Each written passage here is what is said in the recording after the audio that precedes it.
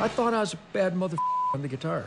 I thought the Amboy Dukes were bad mother had that James Brown, Wilson Pickett, Sam and Dave shake going on. Then I saw the MC5.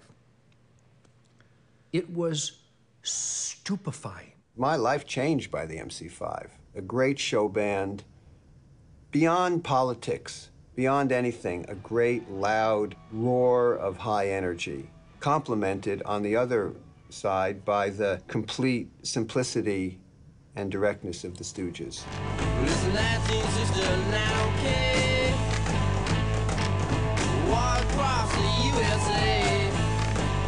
While the MC5 created a sound that hadn't been heard before in America, another Detroit band that took music to new levels of rawness and intensity in the late 60s was Iggy and the Stooges. When we were forming our group, the Stooges, before we were ever on stage, we'd all liked heavier rock. It just made me feel like it had an inner, unstated message to assert myself in a primal way, to take the sex when I wanted it, to take money when I wanted it, to be somebody, not to have a job, to be somebody.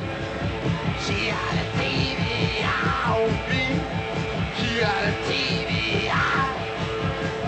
She had a TV on me. You